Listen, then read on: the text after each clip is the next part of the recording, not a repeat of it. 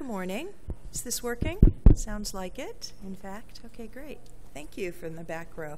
Um, I'm Susan Stearns from the Boston Library Consortium. Oh, and we're getting more chocolates.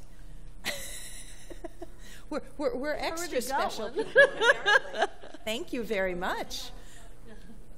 No, we'll take seconds. we'll, we'll take seconds. It's the advantage of being the morning of the last day. I guess they have chocolates left over. Um, so, welcome to the session entitled Why Can't I Find My Content in the Library's Discovery Service? And I, uh, before I hand it off, the majority of the portion of the time this morning will be the speakers and then questions from you. I just wanted to get a sense of the audience. How many of you are, uh, are publishers, are from publishing organizations? Leave your hands up for a minute, please. And of those, how many of you um, know that your content is currently made available through the four major discovery services ProQuest Summon, Primo Ex, Libra, uh, Ex Libris Primo, EDS, and uh, OCLC WorldCat. Okay. Okay, great. Thank you. Thank you. Well, some of you are way ahead of the game then in fact. But, um, but hopefully there'll be opportunities for you to learn here as well. One of the reasons um, this panel uh, ended up coming together is in a S&R survey in, I believe it was 2013, something on the order of 75% of academic libraries had already implemented one of the index-based web scale library discovery services that I just mentioned.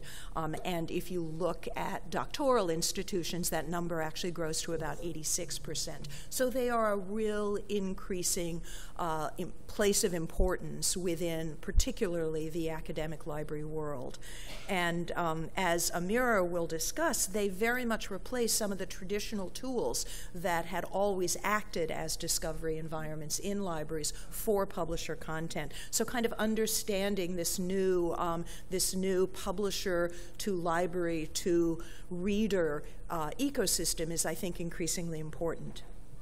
And this morning we're going to hear from three panelists who are going to provide slightly different perspectives on the library discovery systems. First, Amira Aaron, who's the Associate Dean for Scholarly Resources at Northeastern University um, where she's responsible for collections, technical services, and information access and discovery. Amira is going to give us an overview, talk a little bit about what these new library discovery services are, why they're important both to libraries and publishers, and touch on some of the current issues um, uh, around discovery services. Our second speaker is Bruce Heterick, who's vice president at Ithaka, where he has library outreach and business development responsibilities for JSTOR and Portico on a global basis. So we're lucky to have him on this continent today, I guess, huh? And Bruce is going to give a more publisher centric perspective and delve into some of the data that uh, JSTOR has collected as they've looked at ways to determine how to maximize discoverability and access across the various library discovery services for, uh, for their publisher content. And our final speaker will be Laura Morse. Laura is the Director of Library Systems at Harvard University, and her team includes systems librarians who provide support, training, implementation services, analysis, and project management for a wide range of both locally developed and vendor provided products that support the, um, the activities of the Harvard Library.